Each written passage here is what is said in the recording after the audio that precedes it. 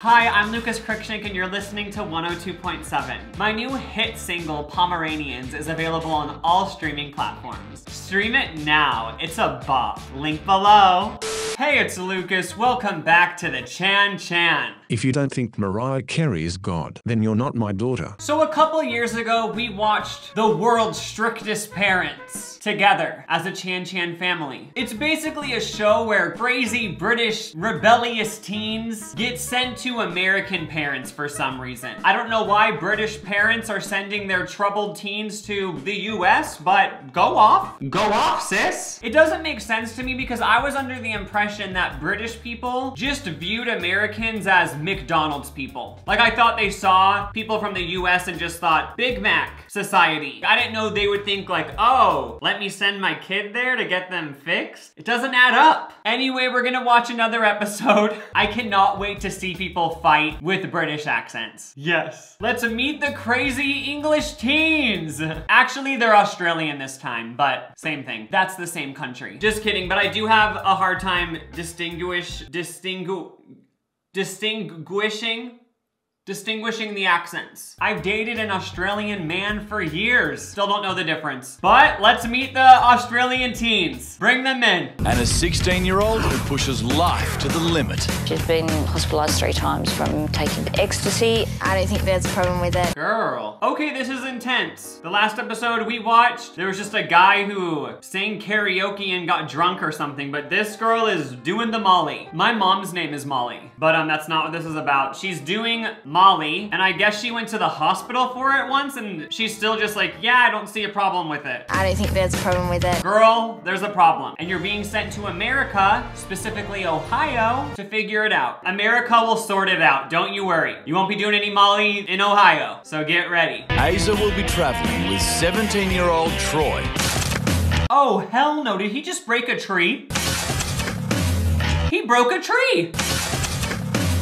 He abused a tree. He can drink alcohol, beer, booze. That's on him. That's his body he's destroying. But when you start ruining nature, just beating up a tree for no reason, ripping off a branch, sis, you're getting sent to Ohio. Get ready, because Ohio's ready, that's for sure. And hopefully you're ready too.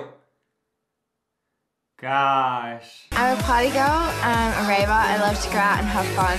She drinks, she takes ecstasy.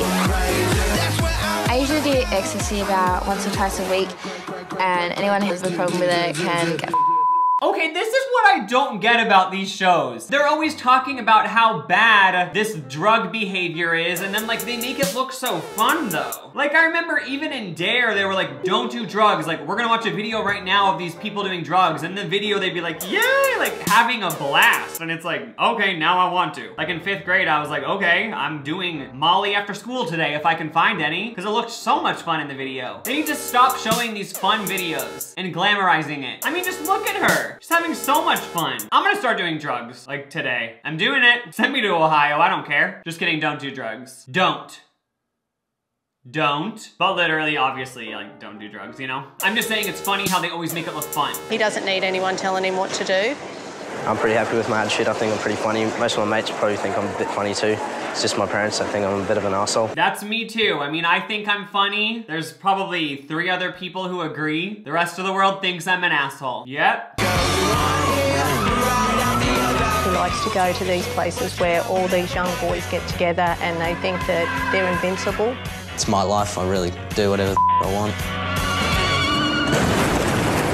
Okay, did he just throw a car in the air and wreck it into the ground? That's too far. From the looks of it, he did it with his mind. Like he wasn't even moving a muscle and whoop-de-doo crashed into the ground. Flying car. I like how these are the clips they're showing to describe him being a rebellious teen. Like he just breaks cars. Is that what he does? I mean, okay stop. Thank God he's going to Ohio. They're gonna stop this behavior in its tracks. That's how we do it in Ohio. I've never been to Ohio. It's time for the rebellious Aussie teens to say their goodbyes. I guess the girl even has a boyfriend and now it's off to Ohio. Time for some good old American discipline. That's how we do it in America. America! We do it right. Send her rebellious teens here. We'll sort them out. But still, does anyone know why they send them to America? Like, I'm guessing it's probably just like a fun thing for the show. Like, oh, send them to a different country. Why not America? Somebody explain. I'm confused. Please let me know. There has to be a reason. But they never explain it. Roy and Asa are being sent to the small American town of Zanesville, Ohio for the next week.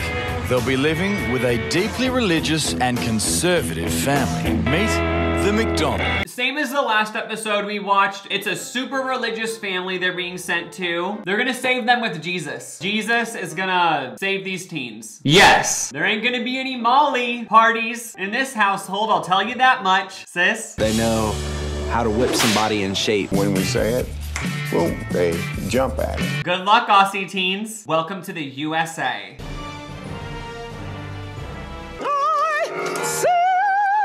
You're not gonna be a raunchy teenager that I can't stand. That's not happening here. No raunchy teens allowed, sis. No raunchiness in this household. I mean, she can claim that, but whatever she did with her fist at the end of that clip, that was raunchy. I mean, just look at that fist. The way she's moving it is raunchy. Thumbs up if you agree. That's all I'm saying. Girl, your fist is raunchy. Okay, let's see what they do. Hey! How are you? Can we read them? Troy. Troy and Nathan. Nathan. Pleased to meet you. Hey, Troy. Hey. How are you? It's a pleasure to meet you. Yeah, Whoa. glad you're here. Cool. I love how the Aussie teen literally did nothing and she's just looking at him like, oh, cool. Like, what? Glad you're here. Cool. Just looking at his face like, oh, cool. They're less than 10 minutes in, and already Troy's searching for a way out. They've planned it so I can't lock it. Oh, shit. Check the screen comes off. I think I just f***ed up their screen. Oh, great. He's only been there a few minutes and he's already trying to escape. The mom looked at his face and said, cool, whoa. Whoa! Here. Cool. And now he's out of there. He's leaving. I guess he's gonna jump out the second story window and break a leg. He's not having it. He snuck in booze? The disrespect. You just know he's gonna get wasted and rip a tree or like throw their car into the ground. Gosh, these disrespectful Aussie teens, I swear. I will not tolerate smoking or drinking. So it's gonna be pretty shit. You know, it probably will be pretty shit. So it's gonna be pretty shit. It probably will be, but hopefully they'll learn how to behave like Americans.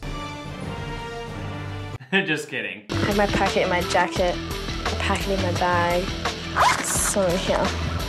I've got them in different places so that if they find um, one, I've still got a little stash.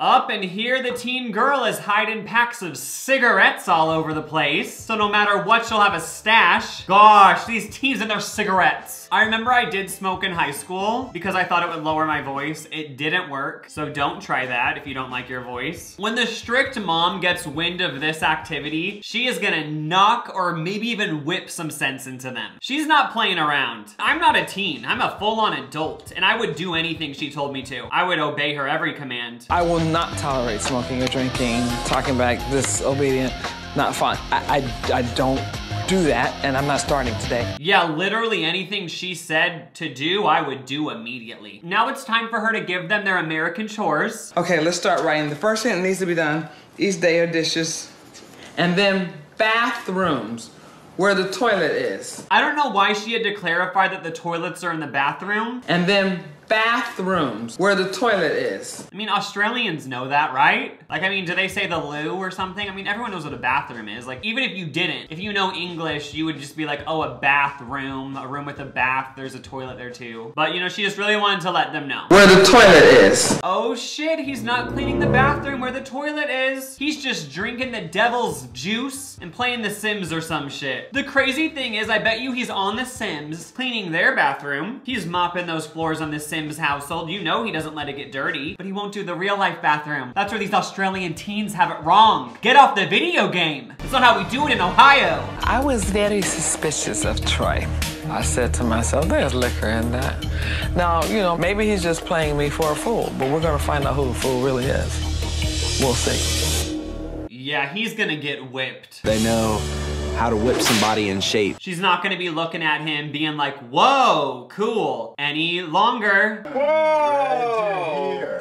Cool. It's gonna be more like she'll look at him and be like, whoa, You're a fool. Not cool. Do you see what I did there? It rhymed. So hopefully he realizes that. They're in church now or whatever, so Jesus can knock some American sense into them. As everyone knows, Jesus is only in America. Sorry, we called him. Sorry, not sorry. Ohio! He's actually only in Ohio, Jesus. But we can all visit there. Last time I went to church was when I was 10 and it was pretty shit.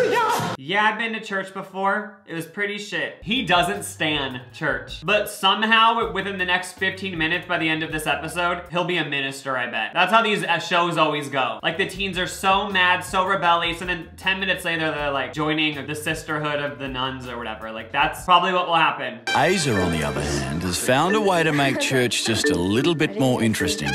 She's snuck off with the McDonald's foster son. My lifestyle in Sydney is pretty much I go out all the time. I'm hardly ever home. I do pills like once a week and I smoke pot like all the time. Oh no, the Aussie teen is corrupting the family's holy foster son. Just like telling him how she does Molly and stuff. Molly, Molly, Molly. Now he's probably gonna do Molly. Great. I just know they're gonna be popping Advil soon. He better remember what he learned in Dare in Ohio, is all I'm saying. Aza's boyfriend appears to be a distant memory already. I forgot she had a boyfriend back in Aussie. Wait, is this episode gonna feature some good old fashioned cheating? Yes! Give us the drama! Give us the cheating! That is funny how we watch these reality shows that are about real people, apparently, and we're like, give us the cheating. But like, we would never do that in real life. Am I the only one who roots for the cheating in these shows? Anyway, let's move on. Aza reckons a confession on the cigarettes may be just what she needs to win this family over.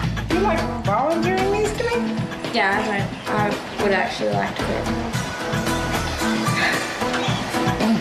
Pretending she's giving her nasty cigarettes to the mom. Girlie, we know you have more packs stashed away. We saw what you did at the beginning. They're hidden all over the house. They'll be finding packs of cigarettes in that house for the next century. But somehow, the strict mom is falling for it all. She is eating it up. Girl, don't fall for it. Do I need to search your stuff to make sure this? is... No, I got them all back. Sure. Sure. Sure. Yeah, right. You still have cigarettes all over this house. We don't do that in Ohio. Cassandra's right to be cautious. I hid some cigarettes and she keeps asking me, Are you sure you don't have any? Like, you're not lying to me. And I'm like, Yes, I'm sure. but I am lying. The pure sinning of it all. She sinned so hard. She literally sinned her face off. The strict mom is gonna be pissed. Just smoking in the house now. Like, girl, how are you gonna get away with that? The cigarette stench is gonna be permeating the air. I don't know what this says about me, but I remember as a kid going to the bowling alley and like you were able to smoke at the bowling alley. Obviously, I wasn't as a kid, but I remember thinking it was cool that I smelled like cigarettes. Like, what? Like, obviously nowadays I'd be like, that's gross. I don't wanna smell like cigarettes, but for some reason at eight years old, I thought it was cool. I'd like smell my jacket, like, like, yeah, I'm a smoker. But I've changed, and hopefully you have too. Quit smoking, Stacy. I guess the strict mom thinks the girl is wearing too revealing of an outfit or something, so she has her put a dress over her t-shirt, which is very confusing because it's not doing anything. Like, if anything, the dress is more revealing, but okay, go off. I said cover those puppies up. The focus is not supposed to be on you. That's the point. The focus is supposed to be what you are doing. It don't make sense. Make it make sense. To knock some sense into these Aussies, they're having them feed people in need, and this is their opinion on it. Oh, I think it's a waste of time because taking time out of your own life when you could be doing other stuff, going out with your mates. I mean, he's right. Why waste your time doing stuff like this, helping others, when you could be ripping trees for no reason? I still am mad about that tree. Almost as mad as I am at DJ Khaled for not going down on his wife. I'm still am holding a grudge. I don't know why. For some reason, it triggered me that he said that. There's also drama because he doesn't want to stand, I guess. He seated. that. Troy, darling, you need to be up, baby. My legs are tired. Don't from make me standing up. come No down one's there. here. I'll get up when someone comes in. No, you get up I'm now. sorry, I'll get up when someone comes in. No, you need to get up, dear. Thank you. You can't sit on the food counter around y'all. He did not just sit on the food. He literally put his ass on the food. Sis. Up and now he's walking out. He's leaving the premises after his ass to food debacle. Apparently, Troy has gone for a little walk. When I see him, it won't be pleasant. I'm on her side. Like, you can't just put your ass on food and walk out. I'm fully on the strict mom side. Gosh. Tell me that's not a beer. He was supposed to be feeding the homeless. Instead, he did a runner. Oh, you don't trust me? Uh, not really. And of course he's drinking the devil's gin. Actually, it's just Pepsi. Okay, close call. It's just Pepsi. Since the mom and the Aussie teen are in really intense drama, it's now time for a silent staring battle.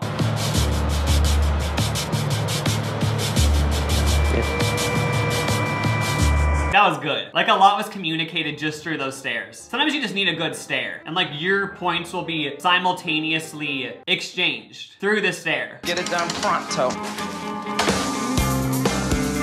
Man, I think that's a load of bullshit.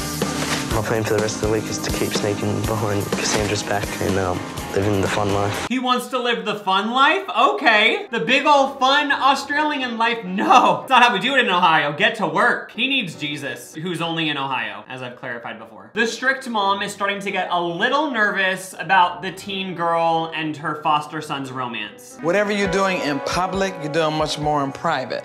So if I'm able to see what's happening when I'm out looking. The McDonalds don't allow their kids to date before they're officially adults. They're holding hands. Hand holding is happening. This can't be going down in her house. Death to them all. Death to all of them. We've just been sitting here talking. Just checking.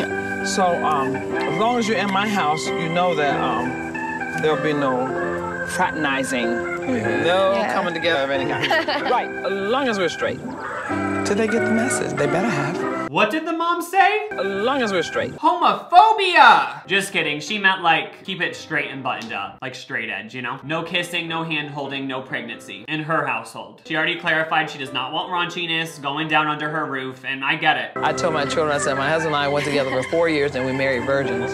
You can wait. You can wait. It's true. I actually have new merchandise linked below. It's a Chan Chan purity ring. Everyone in the Chan Chan wears one, and we all make an oath to wait until we're 58 to do it. Link below. I had a few cigarettes left, and I'm sorry I lied about it. It's just, ask Brian. I gave him them, and he flushed them down the toilet last night. What am I rolling up on? Oh my God. Oh, I must have dropped that because I pulled Oh, them out. Lord, in Jesus' name. Oh, I thought you got rid of all your cigarettes, your cigs. Thought they were all gone. She tried it. She's a sinful liar. In Lord and Jesus' name is correct. Oh. Lord, in Jesus' name. I'm gonna start saying that more often. I don't even know what that means. Like, in Lord and Jesus' name, what? Oh. Lord, in Jesus' name. Anyway, I'm gonna start saying it though to get my point across in casual conversation. That's that. Oh, bless the Lord. Betrayal is when you have one's trust and you betray the trust. She tried it, but that ain't how we do it in Ohio. You got caught. So now we're getting to the end of the episode, and I think this is in every episode of World's Strictest Parents. The actual parents of the teens send them like these emotional letters. So the teen girl's reading the letter her mom wrote, and like the mom's like, please stop doing Molly, like no more Molly and stuff, please. I'm gonna stop taking drugs, absolutely. I mean, I feel great without it. I feel great being me. I feel like me again, like I was 13 again. And she's done with drugs. She's done with Molly. It was that easy. Four days in Ohio. She's done. That's how we do it in America. Now the teen guy's reading his parents' letter, which is like, please stop destroying trees and like, don't do bad things. I never used to think about loving my parents, but I love my parents, sorry. And now he loves his parents.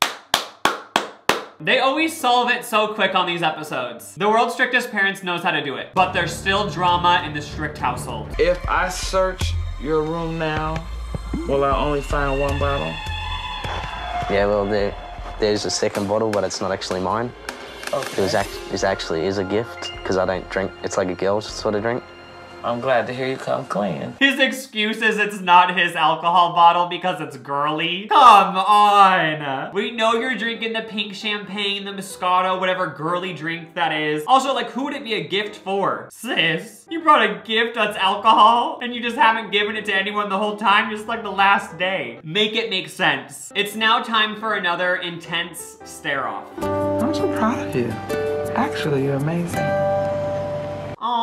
Aww. because of Ohio, the Aussie teens are now like just doing wholesome things and not doing Molly. And they're just like having good old non-sinful fun at the arcade. Thank God. The girl and the foster son are hitting it off. With me and Brian, it was weird. It was like a one-off thing. Like we just started talking and we connected straight away.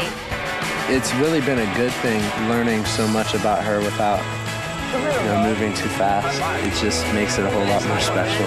Has she told anyone that she has a boyfriend back home? I mean, go off. She's literally like 17. Like, relationships don't matter at that age. Like, it's not even cheating. Like, boo, you're 17. Like, you're allowed to cheat in your teens. That's right.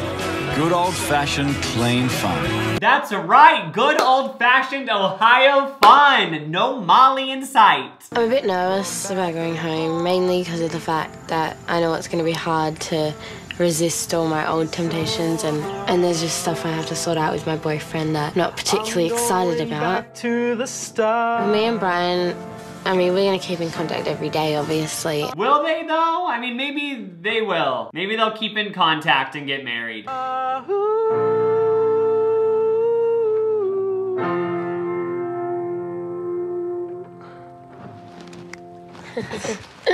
Open. Okay, Ariana. Those notes. The notes that were hit. Okay. It's now time to say goodbye to the Ohio family and go back to Aussie and take what they learned. I'm a little sorry for him. Sort of making you worry.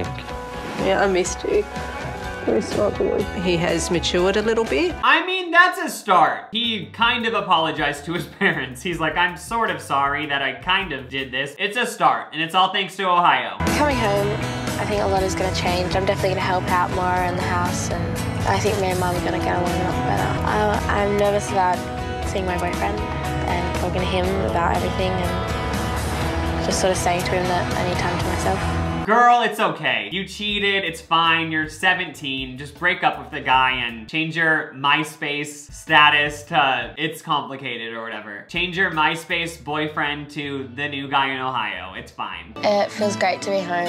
Um, I'm glad I'm home, though I'm gonna miss America and I'm gonna miss the McDonald's, but She's gonna miss the American McDonald's. See, I knew it. I knew that all countries just think of America as the McDonald's country, the McNugget nation. Honestly, I'm proud. If people see me and their first thought is a McChicken, like I'm down with that. So the girl stopped doing drugs, she dumped her Aussie boyfriend, and her and the Ohio guy are gonna get married, yes! And the guy has joined the Navy, stopped drinking, and he's on good terms with the mom and papa. Okay, go off sis. What a happy ending. All thanks to America. Um, just kidding, but I'm still confused why they send them to America. But anyway, what a great episode. They got better thanks to the Ohioans. If you've learned anything from this, if anyone in your life is struggling with literally anything, send them to Ohio. Four days later, they'll be better. Thank you guys for watching. Hello. Hello? Since I've been listening to Australian accents, so this is a British accent. Hello. That's a British accent. This is an Australian accent. Hello. Like, wouldn't that be how they say hello? Um, comment below how I did. I'm gonna go. Bye.